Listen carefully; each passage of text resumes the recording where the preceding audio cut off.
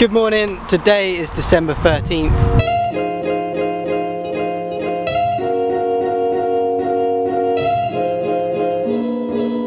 We're going shopping, we're going, going to get some Christmas stuff and but first Chloe wants to go to Pets at Home and look at the rabbits.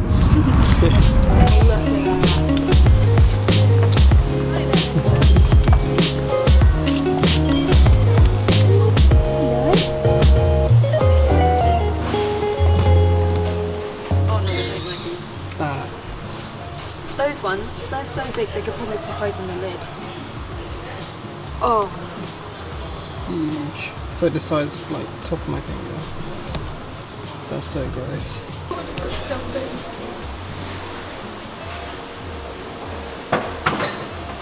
Nathan, Hmm? why is the ginger one not here? He wants to go home, that's why. He wants some carrots. Don't blame me. We're done looking at the rabbits now. You happy? No, she wants one. so now we're gonna go get some more presents hopefully. So we got some Christmas presents um, that I can't show you because I don't know who watches these. But we also got some Think about that. stockings. Um, but yeah, we're just gonna head home. And that's pretty much gonna be it for the day I think to be honest.